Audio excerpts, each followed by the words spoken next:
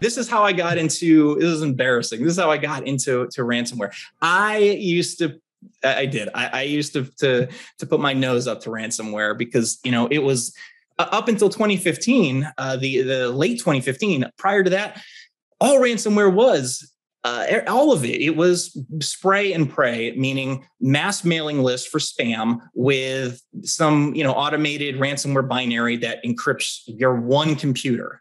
And uh, most of the time, that encryption, if if you knew what you were doing, could even be broke. I think it was May 12th, 2017. Um, my boss came to me and said, "There's something going on. There's a big ransomware attack. I need you to look at it."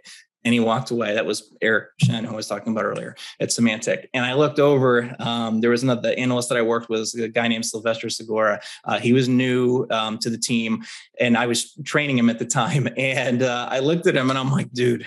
Why are we looking at ransomware? Like, I'm like, there's automation that can handle this. Like, why are we the ones looking at it? And my boss heard me and he kind of gave me this look. That ended up being WannaCry. Oh wow. I boy, about putting your foot in your mouth, like the biggest attack the world has seen. And I was putting my nose up to it. You can't let yourself get to a certain point where you think and I'm not saying I thought it was too good for, but you think something is not worth looking at, not worth investigating, or ah, this is just too low level. You have to you have to understand that you know bad guys change, TTPs change, and sometimes they're going to reinvent the wheel, and that's what they did with ransomware. And you know that was 2017, but the signs were there. In 2015, it was the they were in Iran, but the same same guys were the first group that created this enterprise ransomware model where they would shut down an entire organization and, and it just grew from there. But my, my point is, is that you know because it wasn't prevalent and it wasn't what i was looking at every day when that big attack happened it i would have looked the other way if my boss didn't say to look at this. And you know shame on me. But that that's a great story though why you can't do that. My job's really evolved and uh, you know, I do so much ransomware. I really want to get more espionage. So espionage bad guys, I need you to do more because I'm doing way too much ransomware these days. Uh, no, I love what I do. So I get really, when I get in, in, an interesting, creative bad guy, I get really excited. And, and sometimes people, often people misplace that. All right, do you, are you like rooting for them? And I'm like, no, but this is so cool. you know, it's interesting. Going back to Symantec, we did a study of uh, five of the big ransomware groups and we looked at that um, from when the first time that they got on uh, a network, when they when they first got initial access, to when they actually executed their ransomware payload, and we were finding that it went from three days to three weeks and the average was about seven to 10 days. But my point being is, I don't think most people realize that there are eh, there's it's there, there's some of the best hackers in the world, but they're literally on your network for that long. You have that much time to catch them. And, and, my team, we did. We caught them all the time. Garmin ended up getting hit because they weren't one of our customers. And I don't work for Symantec anymore, so it's not a sales pitch. But there was 30 other customers, and there was like 27 of them were US companies, and it was Evil Corp, and they were in their networks, and they were doing this massive campaign, and they were staging and turning off the security controls and enumerating, and they were literally placing the ransomware payloads on all their key servers.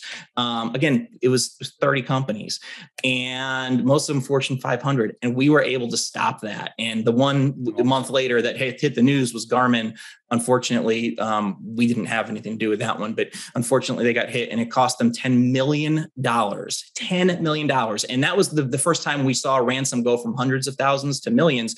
But the point in the story is like, I mean, it used to be nation state was your worst threat. It's I'd arguably say that that's not the case anymore. Well, that's that would be your second worst threat because ransomware not only they're encrypting your data now, they're stealing it, and now they're even doing third extortion where they're doing a denial of service on your on your infrastructure. So even if you do have some public facing infrastructure up, they're making sure your company, uh, your customers can't access it.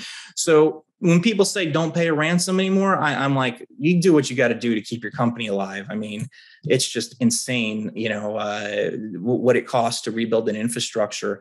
Um, I think the the one that's been documented where uh, I can't think of their name. It's a big, it, was a big company, and it was the Maze ransomware uh, group, also known as Twisted Spider, who did this. But they they demanded a, it was a uh, like a Fortune 20 company, and they demanded uh, 14 10 or 14 million dollar ransom and they decided not to pay it and they decided to rebuild on their own Um, a year later, a journalist contacted them and they were open and talked to them about it. And the the the cost that, that it what they incurred to rebuild was 70 million dollars. Okay. Wow. Do you think if they could go back and pay that whatever 10 or 14 million dollars they would have? I, I guarantee you that that they would. And then, you know, there's like Travelex, they got hit with with ransomware. They handled it incorrectly. They tried to hide it under the rug, they tried to minimize it. They didn't realize the advanced threat that it actually was. They should have my book wasn't out, but if it was, they should have read it. And uh, they got hit. They, they went out of business, or well, they they they sold off their business, but yeah, they, the company itself doesn't exist anymore because of that. I, am going to use the very public version, but there's a lot more examples that are not public where like North Korea hit hit Sony and just decimated them. You know that happens a lot more than you think. It's just that it's not in the act of revenge; it's in the act of stealing their intellect, intellectual property and then communications. That's another big one. We we've seen a great example. Uh, also, Russian organized crime. This was like in 2014. So this was really early for this type of an attack. They came into an organization, again, using tools and resources and tactics they read from espionage store, uh, uh, reports that were out there. They got into this, this financial based company that was publicly traded, and all they stole were the communications communications between key leaders, decision makers. Um, they took it all, they read it, they understood, they knew the thing, private information where the stock was going, and they leveraged that to play the stock market and short the stock. And they ended up making wow. a lot of money, and they influenced this this company's value, and they got rich. So that is that theft. It's illegal. It's you're still stealing something, and you're hurting all the people that put money into it. But it was again, it was I'm not patting them on the back, but it was a brilliant idea that we as defenders, if we'd been watching people's emails that you know being stolen like that data if we'd been looking at that a little bit harder you know we would have realized something is wrong. But you don't because you're thinking of bad guys. They're not looking at care about what our emails are. They're caring about what our intellectual property is or what our research is or what we're doing on this contract you know. So you got to think out of the box. Like i said it's always changing